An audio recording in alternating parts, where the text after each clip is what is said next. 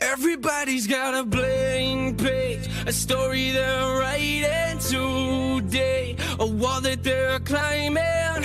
You can carry the past on your shoulders. You can start over regrets. No matter what you've gone through, Jesus, He gave it all to save you.